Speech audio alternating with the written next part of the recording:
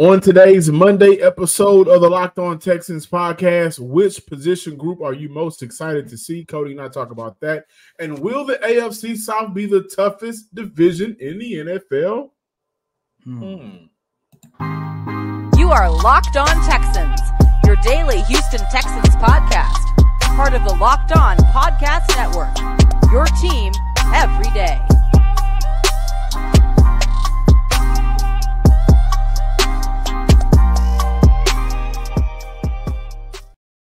Welcome everybody to a Monday episode of the Locked On Texans podcast, a part of the Locked On Podcast Network, your team every day. I'm your Texans football analyst, John Some Sports Guy Hickman. On the other side of the screen, Texans Credential Media member, Sports Illustrated's own, the man that's always working, Coty M. Davis. If this is your first time watching or listening to the Locked On Texans podcast, First and foremost, thank you for stopping by, tuning in. You could be anywhere in the world. Please subscribe, like, and comment to the Locked On Texans podcast on Twitter. I mean, on you, on, on YouTube and wherever you listen to your podcast. And please give us a follow on Twitter at Locked On Texans and follow me on Twitter at John underscore Hickman 12. For Coty, Coty Davis underscore 24. Uh, we opened up today's show. Well, we talk about on today's show, excuse me, Cal McNair uh, possibly uh, being the principal owner for the Houston of the Houston Texans. We'll close out with that. Which position group are you most excited to see? I think that's going to be very fun, right? And I think we can go either way in terms of whatever side of the ball that we're looking at. We do open up today's episode with the discussion centered around the topic the AFC South right now is loading up, guys. Will they be the toughest division in the NFL? However, I do want to let you know that today's episode is brought to you by FanDuel. Make every moment more. Right now, new customers get $200 in bonus bets with any winning $5 bet. 200 bucks in your pocket if your bet wins. Visit fanduel.com slash locked on to get started. We've seen upgrades – in big signings for the Jacksonville Jaguars. We've seen it for the Tennessee Titans, who I really believe may be the Houston Texans' uh, kryptonite. Hmm. It's, it's always been tough between Houston and Tennessee. Of course, we know that the Houston Texans have made upgrades. Uh, but the AFC right now, you look at a division with three second year quarterbacks going into this season, right? Sophomore CJ, uh, uh, uh, Will Levis, Anthony Richardson. You look at a fourth year quarterback in Trevor Lawrence. This is a, a, division that I think has some, you know, interesting quarterbacks to say the least, and it's kind of turning out to be possibly one of the toughest divisions in the NFL.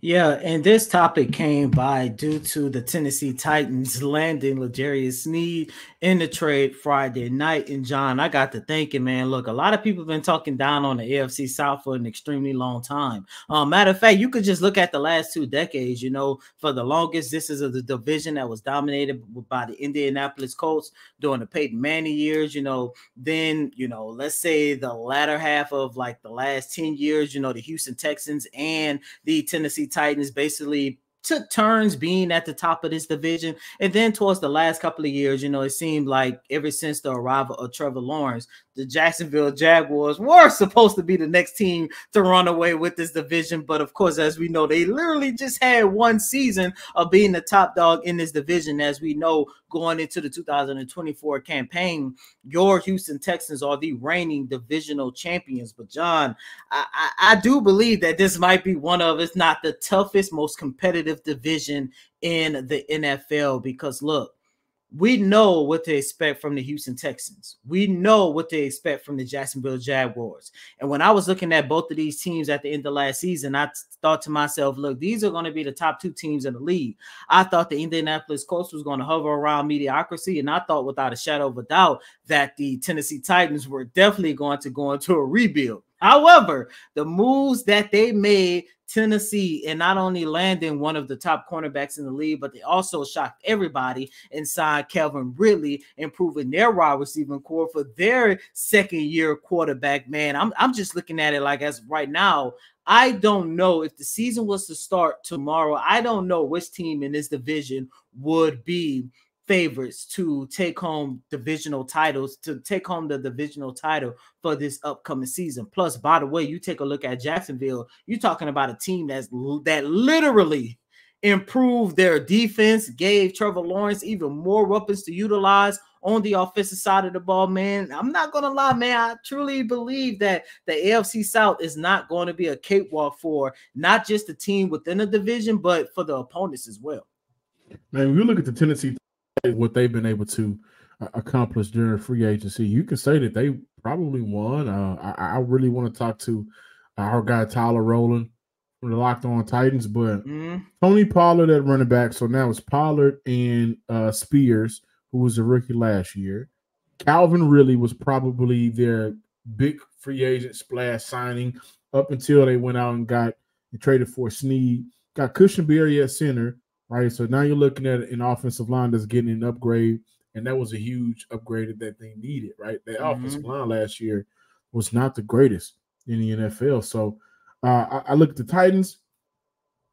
We can we can we can talk crazy about the Jags all we want. I'm not counting them out yet, right? I, it has to be because Houston split with them last year, unlike the mm-hmm. Tennessee Titans, where they you know two and zero oh Titans. Um, the Jags will always be a, a tough you know game for the for the Houston Texans. And then I look at the Colts. The Colts, as of right now, nothing scares me about them, but it, you know, I do think about they are getting Anthony Richardson back, and he will be undoubtedly their QB one because Gardner Minshew has left in free agency to go elsewhere. So I think this is going to be an interesting division to say the least. You got four coaches in uh, this division. You got you got DeMeco down here in Houston right? You got guys that's in this division that are looking to build off of what they expect of a team. And I think that everybody has taken that step forward. And again, I am anticipating when we'll get an opportunity to see Anthony Richardson play 17 games. Hopefully, mm. it's this year and for the rest of his career. We definitely want to see that young man uh, have a shot to be as great as he can without injury biting him.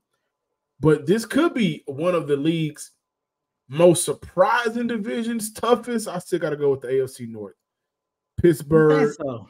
Ravens, Baltimore, right? Uh, mm. the, the, Bengals, uh, the Browns, the the Browns, who have done a very good job in free agency, loading up that roster, and they got guys that's already on, on, on you know on contract coming back. So I believe that right now that is probably the toughest division in the NFL Mm-hmm. And traditionally, it normally is when you look at the top dogs being the Steelers and the Ravens, they are always kind of clawing at each other. But I think for the AFC South, I can see the possibility of how it went down last year, kind of going down the same way this year. Fighting and clawing the last three weeks of the season, up until the last, the Titans could have made it up until like the last three or four weeks. The Colts could have won it. The Jags had a shot, and Houston was just we on the way. We on the way. We on the way. Right. So either they won the division or had an opportunity to make the wild card uh, for the AFC South. I can see that possibility. It is some inexperience in this division that can that's taking it away from being the toughest. Hmm. Sophomore quarterback in Houston, sophomore quarterback in Tennessee, sophomore quarterback in Indy, but has only played in three games. Was three games, two games for Anthony Richardson, right? Mm-hmm. Well, two, two full. Well, was it two? I don't know. He, he didn't play more than five. Put it like that. yeah, it was. It was. You know, not a lot of games, not a lot of snaps, not a lot of experience gained last year. And I look at the Jacksonville Jaguars as a team that desperately will be looking to bounce back and prove themselves. Right, the way that their season ended last year was unacceptable, and now the talking point uh, around the league, nationally and locally, is is Trevor Lawrence the one or not? Hmm. So they're going to be looking to prove something, no doubt about it. Uh, this really? division will be scrappy. I will say that. I think it's going to be very scrappy, and I think inexperience will either lead to bad outcomes, or we're going to see some of these quarterbacks do a very good job of adjusting on the fly. I want to see what Will Levis does now that he got Hop, Burks, and mm-hmm. Ridley. Say goodbye to busted brackets because FanDuel lets you bet on every game of the tourney. Whether you're betting on a big upset or a one seed, it's time to go dancing on America's number one sports book. Right now, new customers get $200 in bonus bets if your first $5 bet wins. That's 200 bucks in your pocket to use on point spreads, money lines. You can even pick who's going to win it all. Visit fanduel.com slash locked on and bet on some college hoops until they cut down the net. Go UH Cougs. Welcome back, Locked On Texans listeners and viewers, to this Monday episode of the Locked On Texans podcast. As of right now, Coty and I, I think everybody is still waiting on a couple of things, upgrading at the safety position. And I can see with the first pick in the 2024 NFL draft, I could see Houston doing that, going that route. Mm-hmm. Upgrading the wide receiver position, I could see Houston going that route with the first pick that they have at 42 in the 2024 NFL draft. But we can't sit here in front and say, well, they haven't made upgrades, right? We know that they've made those upgrades. And Coty, my question to you, listeners and viewers, you, you guys as well, if you're watching on YouTube, drop it in the comment section. Which position group are you most excited to see? I got two. Um, the first one has uh nothing to do with any upgrades. The one I'm most excited to see as of right now is the safety unit.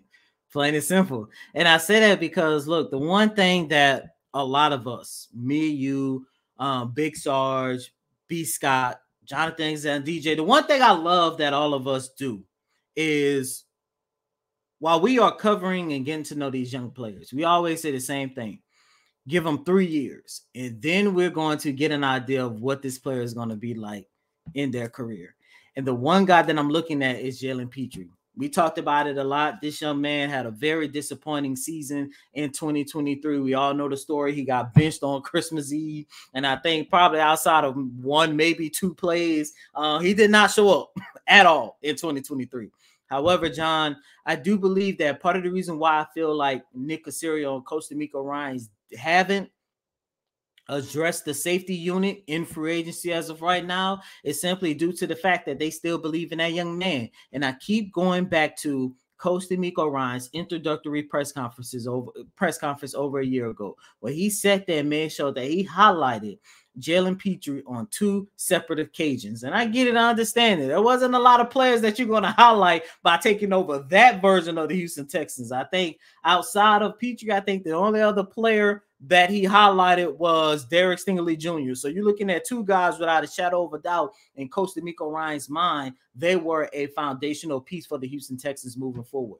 The one thing about Jalen Pitre that also keeps me keeps me believing in that young man is the fact that look, this is a man that's still trying to find his niche in the NFL, and it came in his second season where he got to get adjusted to a whole new scheme and a whole new system. And I know we was all excited about Coach DeMeco Ryan's coming in, but you got to um keep in mind the reality of the point is this is still a young man still trying to find his way in the league. And I think going into his second year with the same defensive coordinator, with the same head coach, with the same defensive scheme, I think that young man is definitely going to improve that safety unit. Another unit I'm excited about looking at is the cornerback unit because the one thing that I always go back to at the NFL Combine, both Nick Caserio and Coach DeMeco Ryan said that they wanted to pair Derek Stingley Jr. with another solid, another good lockdown corner, and I do believe that they're going to have an opportunity to do that with Jeff Okudah.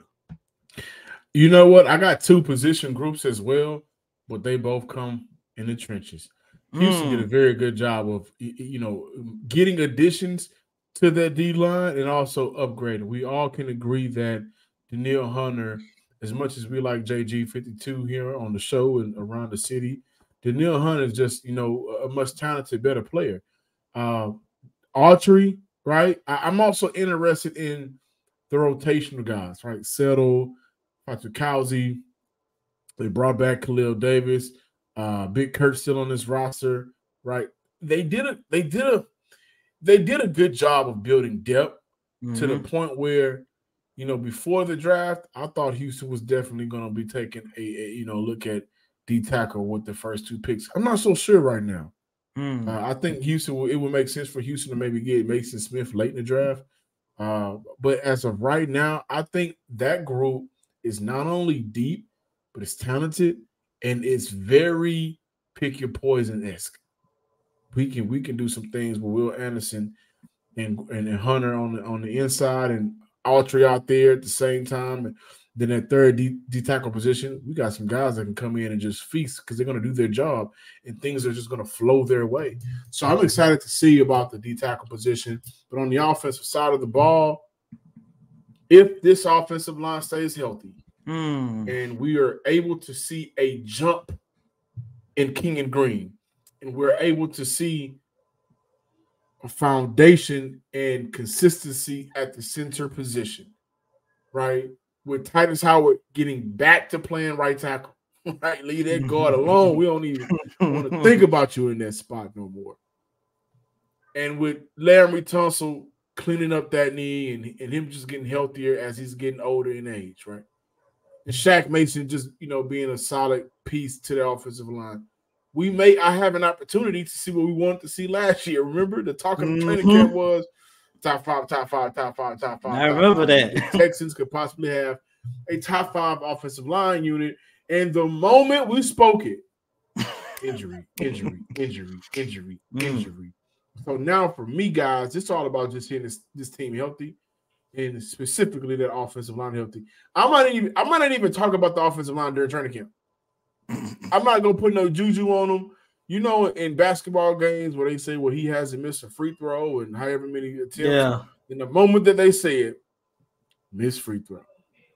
Or or when they say in basketball, oh, this team don't have no chance to go to the play-in tournament. Next thing you know, eight wins in a row. in a row. Shout out to JG4, Jalen Green.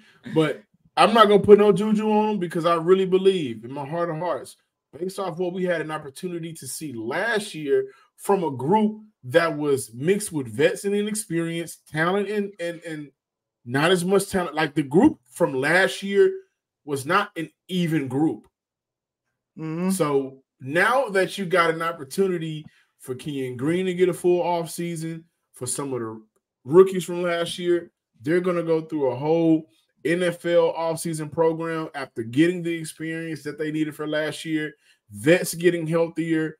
I can see a situation where the Texans cut down on their sack numbers. We see a better running team because you know at in its core, this is what this offense wants a team that's able to run the ball still effectively, we'll see a much better offense because of the healthiness from the offensive line.